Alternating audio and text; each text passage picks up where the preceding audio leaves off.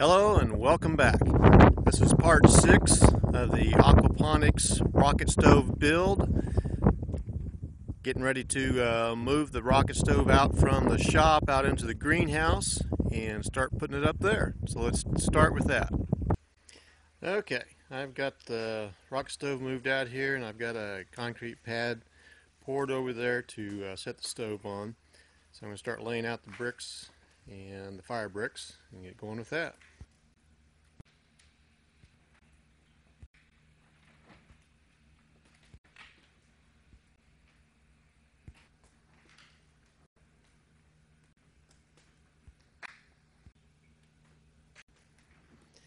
Okay, now I adjusted the front of this a little bit different from the previous video.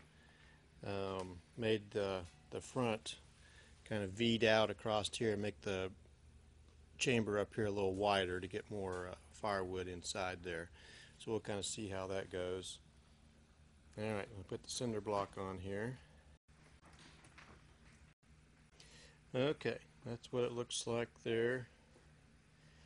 Now what I'm doing is going to mix up this uh, perlite with some uh, clay soil and fill in these cinder blocks. That'll give it some more insulation and thermal mass there.